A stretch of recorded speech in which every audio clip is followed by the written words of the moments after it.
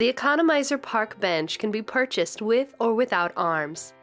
It features economical pricing with the comfort and style of all our plastic outdoor furniture.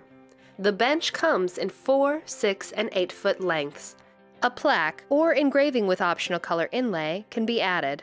It features rust free stainless steel fasteners and a 15 year warranty.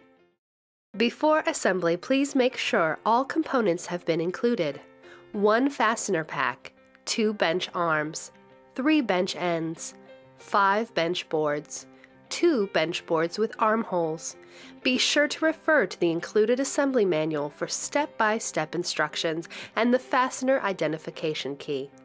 For the sake of clarity, the board positions have been numbered as follows. These positions can also be found in your assembly manual and they will be referenced throughout this instructional video.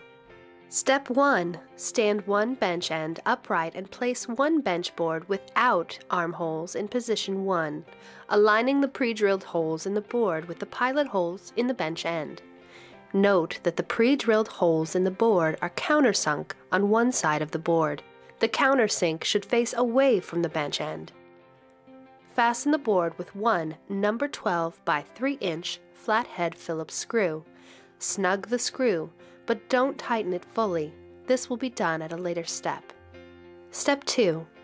One at a time, stand the other two bench ends upright and attach the bench board to each bench end. As you did with the first bench end, align the pre-drilled holes with the pilot holes in position 1 and fasten with one number 12 by 3 inch flathead Phillips screw in each top hole. Snug the screws, but don't tighten them fully. This will be done at a later step. Step 3. Align the bottom pre-drilled holes in the board with the pilot holes in each bench end.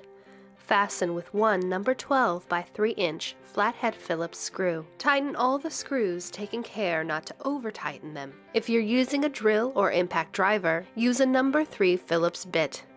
Step 4. Place a bench board with armholes in position 7.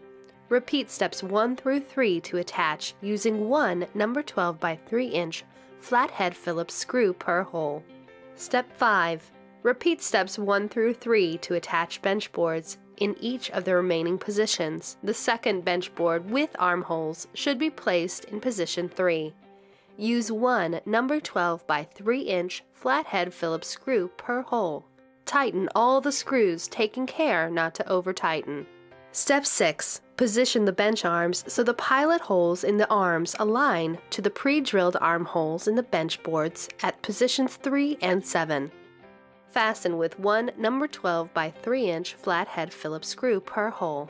Tighten all the screws, taking care not to over tighten. Congratulations! Your Economizer Park bench is now complete